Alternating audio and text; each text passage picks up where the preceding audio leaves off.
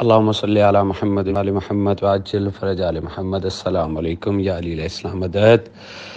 हाँ जनाब ये मैं देख रहा हूँ मैं तो एक्चुअली सुबह आया था जशन से वो लिया और अली राजन सरकार दरबार से तो मैं सुबह पहुँचा था तो फिर मैं नमाज़ पढ़ के सोया तो मुझे तो मैंने फ़ोन भी नहीं ऑन किया तो अभी फ़ोन ऑन किया तो कुछ लोगों ने मुझे बताया कि ऐसे ऐसे क्लिप वायरल हो रहा है तो दरअसल वहाँ पे एक पैसों की बात नहीं थी।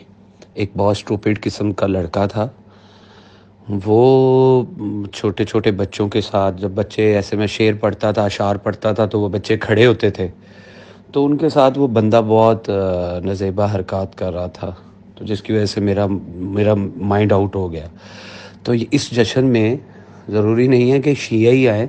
पिछले साल इसी जश्न पे मेरी और काजी वसीम साहब की जेब से न्याज निकल गई थी।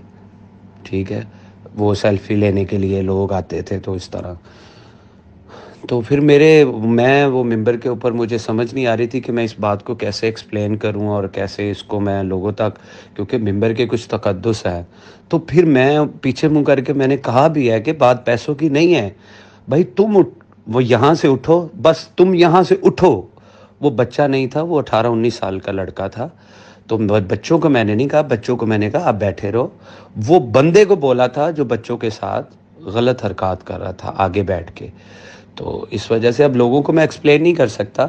अल्लाह रबुल्ज़त सदका मोहम्मद अहल बैत का इन लोगों को हदायत अता फरमाए और ऐसे झूठे प्रबखंडे करने की ना तोफ़ी अता फरमाए। तो बस हम इनके लिए दुआ गो हैं।